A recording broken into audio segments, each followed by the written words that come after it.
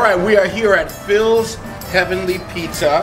We are at Angelo's, here at Avellino's Pizza in Delray Beach. We are here at uh, Carlucci's. Okay, we are here at Zuccarelli's, Papa Giuseppe's Italian.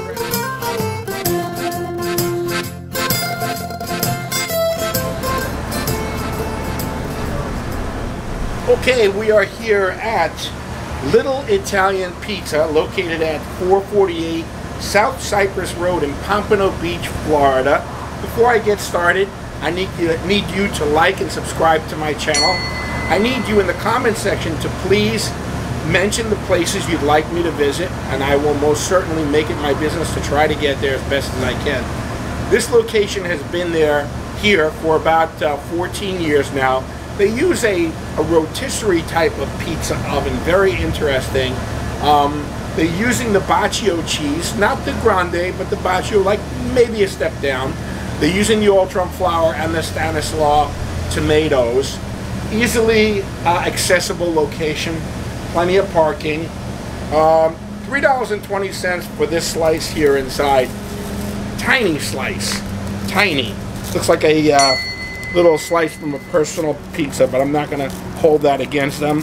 Um, decent, um, decently cooked on the bottom. Very, very thin uh, crust. Not much airiness to the crust, so that's negative right there. Uh, nice when we fold it, it does break.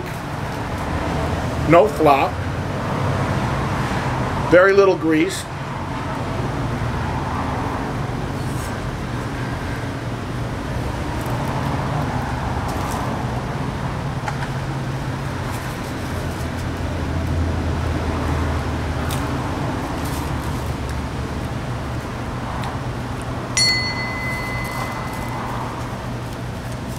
Okay, so where it gets interesting.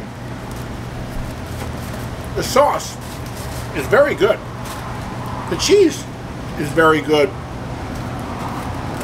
And the dough, with the exception of the crust not having any airiness or puffiness, which kind of tells me that they didn't let it rise enough, uh, or ferment enough, I should say. That's about the only drawback to this. It's very good. I'm going to give Little Italian Pizza a solid 7.5. It's a good slice. Um, a little too small for what they charged me for, but the quality is there. 7.5.